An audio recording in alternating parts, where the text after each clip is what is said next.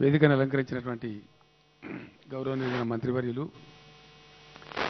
గౌరవ శాసన మండలి సభ్యులు శాసనసభ్యులు స్థానిక సంస్థల ప్రజాప్రతినిధులు టిఆర్ఎస్ రాష్ట్ర నాయకులు.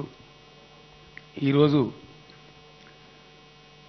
మీ అందరినీ వెంటబెట్టుకొని టిఆర్ఎస్ పార్టీలో చేరి తన వంతు సహకారాన్ని తెలంగాణ రాష్ట్ర అభివృద్ధికి అందించాలని చెప్పి మిత్రులు ఎల్ రమణ గారు వారితో పాటు ఇంకా వారి సొంత జిల్లా కాకుండా రంగారెడ్డి జిల్లా ఇతర జిల్లాల వాళ్ళు కొందరు వచ్చినారు. ముందుగా మిత్రులు రమణ గారికి వారి వెంట వచ్చిన మిత్రులందరికీ కూడా నేను హృదయపూర్వకమైనటువంటి స్వాగతం సుస్వాగతం తెలియజేస్తాను. ఇక్కడ ప్రత్యేకంగా చెప్పుకోవాల్సిన ఒక అంశం ఏంటంటే రమణ గారు నాకు వ్యక్తిగతమైనటువంటి స్నేహితులు. ఆయనకున్న ఒక ప్రత్యేకత ఏంటంటే ఎక్కడ ఉన్నా ఏ సిద్ధాంతాన్ని నమ్ముకొని పనిచేసినా కమిటెడ్గా సిన్సియర్గా దానికోసం పనిచేయటం. నాకు వారితో ఉన్న పరిచయ కాలంలో గత ఇరవై ఇరవై ఐదు సంవత్సరాలలో నేను గమనించింది ఏంటంటే తను నమ్ముకున్న దాన్ని తను ఉన్న పార్టీని సిన్సియర్గా ఆచరించి సిన్సియర్గా ముందుకు తీసుకొని పోవడం తప్ప ఆయన వేరే ద్వైతీ భావంతో ఉండరు. ఇది మంచి లక్షణం చాలామంది పార్టీలో చేరుతుంటారు. నాకు రమణ గారు చేరుతున్నప్పుడు చాలా సంతోషం కూడా కలిగింది. ఎందుకంటే వ్యక్తి యొక్క మంచి వ్యక్తిత్వం ఒకటి. రెండవది చేనేత వర్గంలో కూడా నాయకత్వం పెరగాల్సినటువంటి అవసరం ఉంది. టీఆర్ఎస్ పార్టీకి ఒకటే ఒక ఎమ్మెల్యే ఉండే. దురదృష్టవశాత్తు ఆయన ఓడిపోయింది ఎన్నికలు. తర్వాత ప్రాతినిధ్యం లేదు. ఆ వెలితి ఉండేది కొంచెం. మేమే ఇబ్బంది ఫీల్ అయ్యేవాళ్ళం. చాలా సందర్భాలలో మాట్లాడుతుంటే ఇది పెద్ద జనాభా ఉండేటువంటి వర్గం చాలా సమస్యలు ఉండేటువంటి వర్గం సరి అయినటువంటి ప్రాతినిధ్యం లేదు అని చెప్పి కొన్ని ప్రయత్నాలు చేసినాం. ఈ మధ్యనే వరంగల్ మేయర్గా సుధారాణి గారిని తెచ్చుకోగలిగినాం రాష్ట్ర ఎన్నికల సంఘం అధికారిగా కూడా నిజామాబాద్ జిల్లాకు చెందిన వ్యక్తిని స్టేట్ ఎలక్షన్ కమిషనర్ పార్థసారథి గారిని కూడా తెచ్చుకోగలిగినాం. ఇట్లా కొన్ని కొన్ని చేస్తూ ఉన్నాం. కానీ పొలిటికల్ వయసు కూడా కావాలి. రాజకీయ ప్రాతినిధ్యం కూడా కంపల్సరీ కావాలి. చేనేత సామాజిక వర్గం అనుభవిస్తున్నటువంటి బాధలు కొన్ని ఉన్నాయి. రాష్ట్ర ప్రభుత్వం కొంత ప్రయత్నం చేస్తూ ఉంది. దేశంలో ఎక్కడ జరగని కొన్ని ఇనిషియేటివ్ తీసుకొని కొన్ని కార్యక్రమాలు చేస్తూ ఉన్నాం. కానీ ఇంకా చాలా జరగవలసి ఉంది. చేనేత కార్మికులు ఎవరు చనిపోయినా సరే ఏ కారణం చేతి చనిపోయినా సరే వాళ్ళకు కూడా ఇప్పుడు రైతు బీమా లాగా బీమా వర్తింపజేస్తామని చెప్పి ఈ మధ్య నేను కరీం బహుశా సిరిసిల్ల జిల్లాలో నేను ప్రకటించడం జరిగింది. దానికోసం అధికారులకు ఆదేశాలు ఇచ్చినాం.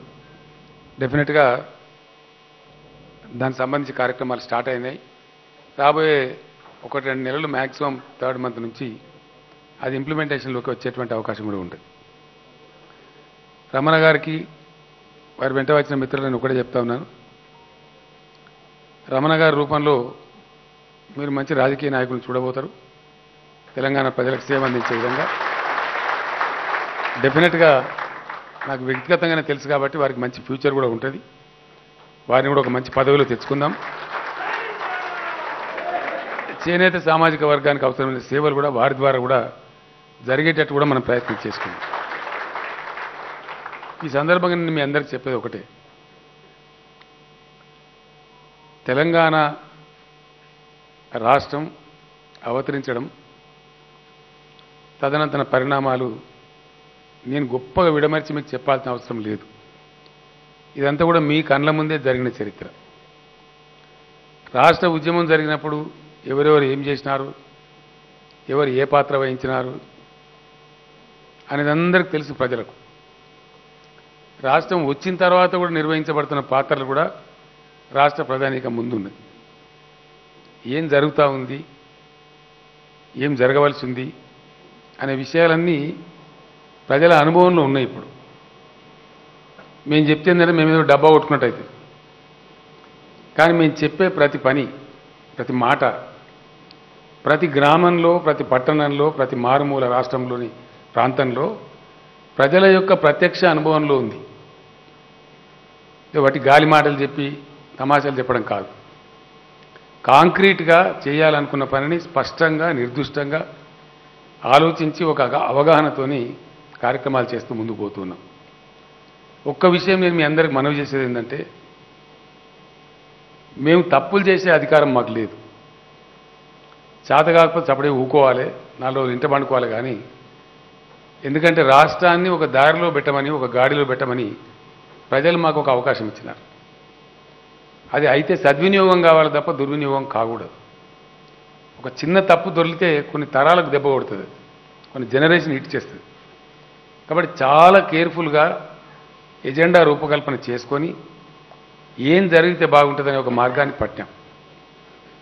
ఆ మార్గంలో చాలా సత్ఫలితాలు కనిపిస్తూ ఉన్నాయి. కొన్ని చిన్న చిన్న సవరణలు ఉంటే వాటిని చేస్తూ ఉన్నాం. చేసుకుంటూ ముందుకు పోతూ ఉన్నాం. మీకు చాలామందికి తెలియదు ఈ విషయం చాలామందికి పార్టీలో కూడా తెలియదు. For example mission Kakatiya program ఉంది. అంటే మేము ఏమి ఆలోచించినా మా ధోరణి ఎట్లా ఉంటుందని దీన్ని బట్టి అర్థమవుతుంది. ఈ మిషన్ కాకతీయ అనే ప్రోగ్రాం చెరువులను పునరుద్ధరించే కార్యక్రమానికి తెలంగాణ రాష్ట్రం ఏర్పడటానికే ఒక ఆరు ఏడు మాసాల ముందే వాళ్ళిద్దరు కూడా ఇప్పుడు మన మధ్య లేరు చనిపోయినారు. ప్రొఫెసర్ జయశంకర్ గారు ఆర్ విద్యాసాగర్ రావు గారు. తెలంగాణ వస్తుందన్నప్పుడల్లా కొంచెం ఆశపడి మేము కొన్ని కార్యక్రమాలు రూపకల్పన చేసేవాళ్ళం కలం కాగితం తీసుకొని. ఎక్కడ తెలంగాణ పునర్నిర్మాణం ప్రారంభం కావాలి? తెలంగాణ ఏం కోల్పోయింది సమగ్ర రాష్ట్రంలో? ఎక్కడి నుంచి మన పునాది మళ్ళీ మొదలు పెట్టాలి పని? అని బాగా ఆలోచించేవాళ్ళం మదించేవాళ్ళం.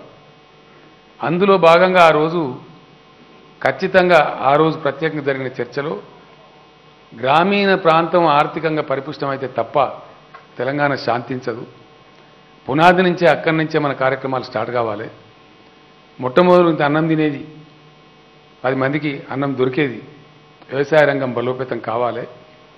దానికి సంబంధించి నీటిపారుదలలో చాలా నేరపూరిత నిర్లక్ష్య వైఖరి వల్ల సమైక్య పాలకుల యొక్క నేరపూరిత క్రిమినల్ నెగ్లిజెన్స్ అంటారు ఇంగ్లీష్లో. దానివల్ల అవన్నీ నాశనం చేయబడ్డాయి. మన పునర్నిర్మాణ ప్రక్రియ అక్కడి నుంచే ప్రారంభం కావాలని చెప్పి రాష్ట్రం వచ్చేదానికంటే నాకు తెలిసి ఐదారు నెలల ముందు నిర్ణయం తీసుకున్నాం. రాష్ట్రం వస్తుందనే ఒక సంకల్పం ఉండే కాబట్టి. చాలామందికి నమ్మకం లేదు వచ్చేదాకా. కానీ మేము బలంగా నమ్మేది. ధర్మం కోసం జరుగుతున్న పోరాటం కాబట్టి నెరవేరుతుంది. భగవంతుడు కూడా సహకరించాలని నమ్మేవాళ్ళం. అట్లా ఆ రోజే దాని పేరు మిషన్ కాకతీయ అనే పేరు పెట్టుకోవాలని కూడా అనుకున్నాం. అట్లా అనేక కార్యక్రమాలు.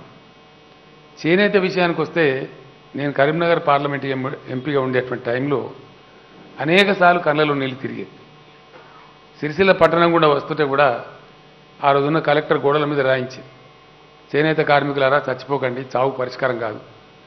చాలాసార్లు మేమే అనుకుంటూ వచ్చినాం ఇన్ని సంవత్సరాల స్వతంత్రం తర్వాత ఈ దిక్కుమాలిన స్లోగన్లు గోడల మీద చూడాల్సి వస్తుంది. ఈ బాధ పోవాలని చెప్పి చాలా బాధపడేవాళ్ళం.